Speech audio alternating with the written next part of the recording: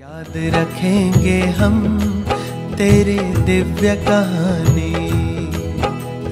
मुरलीधर और मुरली की तुम थे खूब दीवाने।